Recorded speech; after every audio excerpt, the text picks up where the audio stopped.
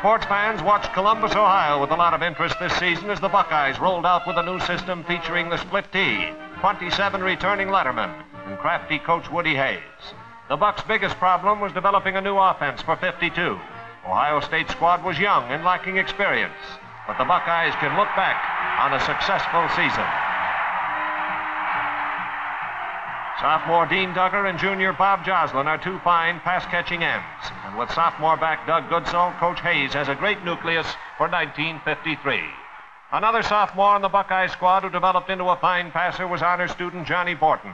On this play, he completes a pass to Fred Bruney, who was also outstanding as a great pass defender.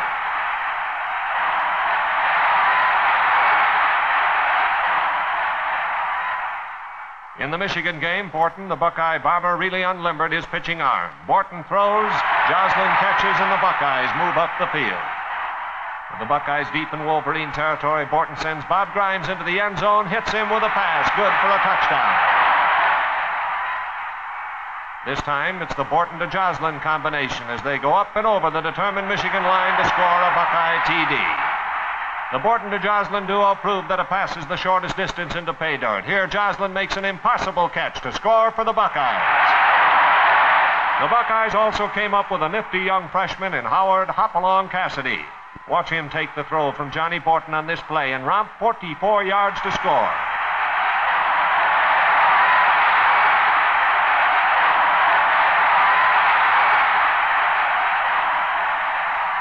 Whether passing or running plays, Cassady moved the ball for plenty of yardage.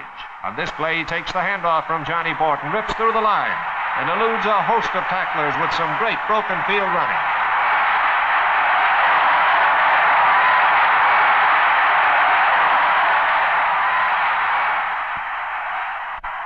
On this combination of Borton to Cassidy again, Hopalong takes the pitch out and picks up 48 yards before he's brought down.